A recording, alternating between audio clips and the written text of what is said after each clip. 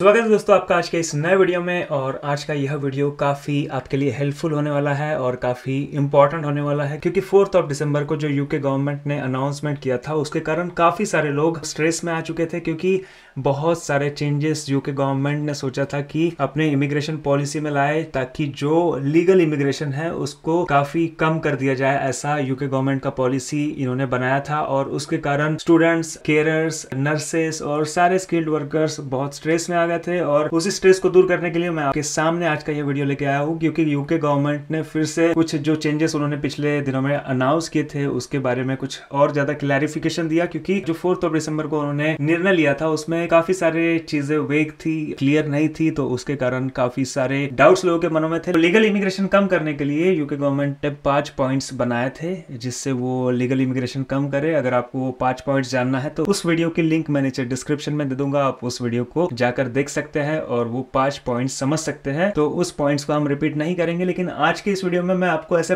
पाँच चीज़ें बताने वाला हूँ, पाँच गुड न्यूज़ देने वाला हूँ, जो यूके गवर्नमेंट ने अभी क्लैरिफिकेशन में बताया है। तो अगर आप इस चैनल पर पहली बार आए हैं तो आपको बता दो कि मेरा नाम है मधु और मैं नर्सेस से रिलेटेड और यूके से रिलेटेड इस चैनल पर वीडियोस बनाता हूँ। अगर आप इन टॉपिक्स में इंटरेस्टेड है तो आप डेफिनेटली इस चैनल को सब्सक्राइब कर सकते हैं और इस वीडियो को भी लाइक कर सकते हैं। तो सबसे पहली गुड न्यूज़ जो है, वो स्टूडेंट्स के लिए है, क्योंकि स्टूडेंट्स के लिए इन्होंने एक न्यू एंट्रेंट रूल कंफर्म किया है। न्यू एंट्रेंट रूल मतलब अभी आपको पता होगा कि जो स्किल्ड वर्कर वीज़ा पे यूके में काम करना चाहते हैं, उनके लिए मिनिमम सैलरी थ्रेश जो था thirty eight thousand seven hundred उन्होंने रखा था। लेकिन न्यू एंट्रेंट में क्या होगा, जो भी नए ग्रेजुएट्स होते हैं, जो भी अपना ग्रेजुएशन पोस्ट ग्रेजुएशन कंप्लीट करते हैं, उनके लिए जो थर्टी एट थाउज़ेंड का सैलरी थ्रेश था, उसे हटा देने वाले हैं। उसको न्यू एंट्रेंस के लिए जो भी फ्रेशली ग्रेजुएट्स और पोस्ट ग्रेजुएट्स लोग होंगे, उनके लिए थर्टी परसेंट डिस्काउंट देकर ये लोग, वो जो थर्टी एट थाउज़ेंड की सैलरी थ्रेश था उसे कम करके twenty seven thousand zero nine zero pound करने वाले हैं। तो ये काफ़ी अच्छी चीज़ है अगर आपका ग्रेजुएशन कंप्लीट हो जाता है और आपको स्किल्ड वर्कर जॉब मिलता है तो आपको ज़रूरी नहीं है कि आपको थर्टी एट थाउज़ेंड पे ही नौकरी मिलना चाहिए। आप, आपको अगर ट्वेंटी सेवन थाउज़ेंड की भी सैलरी वाली नौकरी मिलती है तो आप यूके में रह सकते हैं। तो सेकंड जो गुड न्यूज़ है वो है उन लोगों के लिए जो पहले से यूके में रहते हैं। पहले से यूके में रहते हैं मतलब उन डिपेंडेंट्स के लिए जो पहले केयर वीज़ा पे आए हैं और हेल्थ केयर वीज़ा पे आए हैं और अलग अलग वीजास पे आए हैं। अगर आपको अभी भी डाउट है नर्सेस के वीजास पे क्या होने वाला है, उसके लिए भी मैंने डिटेल में वीडियो बनाया है। उस वीडियो को आप देखिए, आपको पता चल जाएगा कि एनएचएस में जो नर्सेस काम करते हैं, उनके लिए क्या क्या चेंजेस आने वाले हैं। उस वीडियो को आप देखिए। उस वीडियो की भी लिंक मैं नीचे डिस्क्रिप्शन में डाल दूँगा, आप देखिए। अभी मैं जैसे कि आपको बताया कि बात करने वाला हूँ उन लोगों के लिए जो पहले से यूके में है, जो डिपेंडेंट्स पहले से यूके में है, उनके साथ क्या होने वाला है? उनके लिए क्या होने वाला है कि जो भी लोग अपना वीज़ा रिन्यू करने वाले हैं उन लोगों के लिए जो सैलरी थ्रेश इन्होंने रखा है thirty eight thousand seven hundred का, वो सैलरी थ्रेश उनके लिए लागू नहीं रहेगा। ऐसा यूके के जो होम मिनिस्टर है, उन्होंने कंफर्म किया कि वो जो सैलरी थ्रेश है, उन लोगों के लिए लागू होगा जो आने वाले दिनों में आना चाहते हैं। जो ऑलरेडी यूके में है और अपना वीज़ा एक्सटेंड करेंगे, उनके लिए यह रूल लागू नहीं होगा। ये रूल सिर्फ़ उन लोगों के लिए लागू होगा जो स्प्रिंग 2024 से वीज़ा के लिए अप्लाई करने वाले हैं। और जो लोगों का पाँच साल यूके में कंप्लीट होने वाला है, जो कि पहले से यूके में है, उनके लिए वही आईएलआर के रूल लागू हो गए जो पहले आईएलआर के रूल थे। उनके लिए भी आईएलआर के रूल में जो कि पीआर जिसे हम अपने अदर लैंग्वेज में कहते हैं, वो रूल नए रूल उसके लिए लागू नहीं हो गए। तो आपको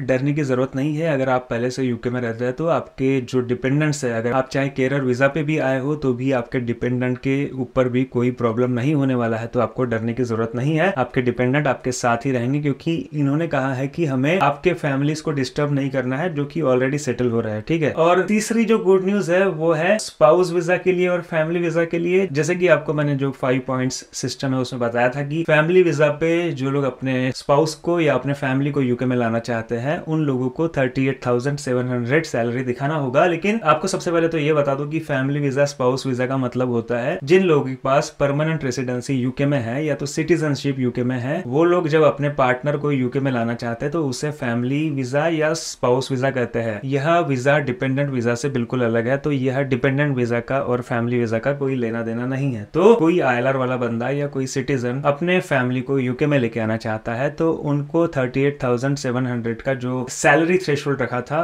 उसमें ये लोग चेंजेस लाने वाला है, क्योंकि अगर ऐसा होता है तो काफ़ी सारे लोग, जिनके वाइफ जिनके हस्बैंड फॉरेन कंट्रीज़ में है, उन्हें वो यूके में नहीं ले आ पाएँगे। इसके कारण काफ़ी सारे लोग चिंता में थे तो इस चिंता को दूर करने के लिए उन्होंने कहा है कि इसके ऊपर भी हम काफ़ी सारे चेंजेस लेके आने वाले हैं, और आने वाले दिनों में आपको क्लियरली पता चलेगा कि क्या क्या चेंजेस यूके गवर्नमेंट इस वीज़ा के ऊपर लाने वाली है और किस तरीके से आप अपने स्पाउस को यूके में ला पाओगे, भले ही आपकी salary thirty eight thousand seven hundred ना हो तो भी। और जो फोर्थ नंबर का गुड न्यूज़ है, वो यह है कि फाइव पॉइंट्स बेस्ड सिस्टम में भी आपको वो न्यूज़ मिली होगी कि only CQC regulated care homes can sponsor your visa तो जो सीक्यूसी रेगुलेटेड केयर होम्स है, वही आपको अभी वीज़ा दे पाएँगे। जो सीक्यूसी रेगुलेटेड नहीं है, वो बिल्कुल ही आपको स्पॉन्सर लेटर नहीं दे पाएँगे। यह अच्छी न्यूज़ इसलिए है क्योंकि काफ़ी सारे लोग इंडिया में और अलग अलग कंट्रीज़ में स्कैम्ड हुए हैं इस वीज़ा के कारण, क्योंकि वो लोग जब यहाँ यूके में आ जाते हैं, उनके पास काम करने के लिए नहीं होता है। लेकिन जैसा ही ये regulated CQC regulated care homes ही आपको नौकरी देंगे तो आपके पास जब आप यूके में आते हैं तो आपके पास डेफिनेटली काम रहेगा। तो बहुत अच्छा इन्होंने पहल उठाया है कि सिर्फ़ सीक्यूसी रेगुलेटेड ही केयर होम्स और केयर एजेंसीज आपको वीज़ा दे पाएँगे। और आपको अगर सीक्यूसी रेगुलेटेड केयर होम्स कौन से कौन से है वो जानना है तो उसके लिए भी मैंने नीचे डिस्क्रिप्शन में लिंक दिया हुआ है।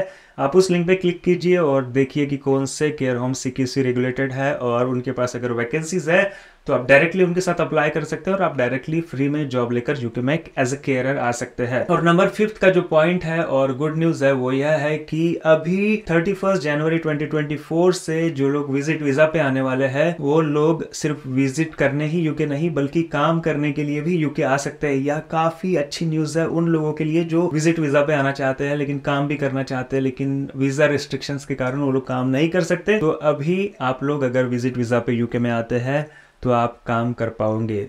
और लेकिन उसमें एक क्लॉज यह है कि आप अपने वीज़ा को स्विच नहीं कर पाओगे। जैसे कि आप अगर विज़िट वीज़ा पे आया है तो आप अपने वीज़ा को स्किल्ड वर्कर वीज़ा में स्विच नहीं कर पाओगे। आपको वापस जाके अगर आपको जॉब मिलती है तो वापस जाइए और फिर आपका वीज़ा स्विच हो जाएगा और फिर आप आइए। तो यह काफ़ी अच्छी गुड न्यूज़ है। आपको अगर इस वीज़ा के बारे में डिटेल में जानना है टूरिस्ट वीज़ा विज़िट वीज़ा पे आप कैसे काम कर सकते हैं, उसके बारे में आपको डिटेल में जानना है तो आप मुझे नीचे कॉमेंट बॉक्स में कॉमेंट कर बताइए। मैं डेफिनेटली उसके ऊपर डिटेल में वीडियो बनाने की कोशिश करूँगा। तो आज के इस वीडियो में मैं आपको ये पाँच गुड न्यूज़ देना चाहता था क्योंकि आप में से काफ़ी सारे लोग स्ट्रेस में आ चुके थे कि हम आने वाले दिनों में ये चेंजेस आने के कारण कैसे अपने आप को यूके में सेटल कर पाएँगे। तो आशा करता हूँ कि आज के वीडियो से आपको काफ़ी मोटिवेशन मिला होगा, काफ़ी होप मिली होगी। अगर आपको यह वीडियो पसंद आया है तो इसे लाइक कीजिए चैनल को सब्सक्राइब कीजिए और अधिक से अधिक लोगों तक इस वीडियो को शेयर कीजिए। Thank you guys for watching this video God bless you